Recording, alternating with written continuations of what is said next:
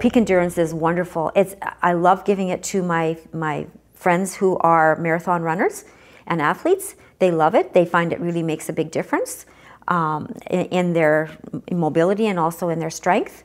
They really enjoy the benefits of that, and also you know the, the increase in ATP, and also all of the um, B vitamins that are in the Peak Endurance. And plus, it makes the drink taste better, right? We used it for two days when we were at Disney World before the conference, and it was so wonderful, so refreshing, right? To just be able to take the Peak Endurance and make the water taste really good, and um, also get energy from it.